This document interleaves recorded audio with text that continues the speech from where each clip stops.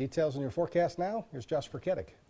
Yeah, thanks, Dave and Eric. And we could expect to see much of the same this evening into tomorrow as well. A little bit of snow mixed in with some very cold temperatures as well for the rest of the work week and into the weekend as well. Current radar looks like this. For the most part, not too much action to talk about except for down into Columbiana County where there are a few spots down there that are seeing some snow. West Point up near Lisbon as well, down towards Salineville. You guys are seeing a little bit of snow showers and some flurries out there. The good news is most of that really isn't uh, laying and sticking onto the ground. But as the evening goes on, some of these uh, snow showers could get a little bit heavier and uh, create about an inch of snow on the roadways. Here's a state look at the satellite, or excuse me, the radar right now. You can see up towards uh, Michigan, lake effect snow building off of Lake Michigan. That will also build off of Lake Erie as well. Northern Trumbull County into the snow belt could see one to two inches of accumulation this evening. Regional picture, there's a little bit of a disturbance here towards Omaha.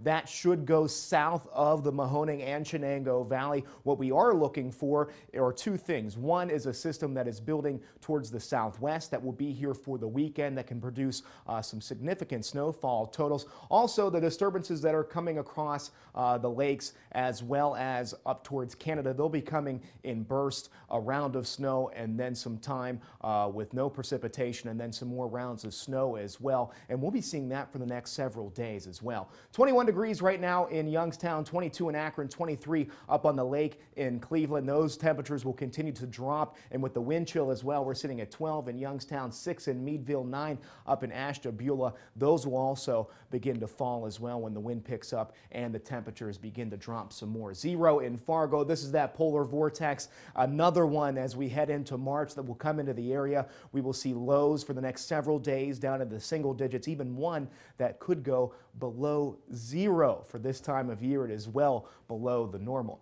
Future forecast for tomorrow morning, you can see some light blue in the forecast. That could mean a little bit of snow for our morning commute. It will clear up then for most of the day and over the overnight for Wednesday. And then Thursday is another round of that disturbances that continue to come across the Great Lakes. Could see a little bit heavier action into Trumbull and into Mahoning County as well, even uh, northern Columbiana County. And that will clear up for the rest of the evening. Will clear up also for Friday. The winter in Sharon live look there 21 degrees winds out of the west at 7 miles per hour county by county. Hubbard is the warm spot at 24, Vienna 21, over in Warren and Newton Falls sits at 22 degrees.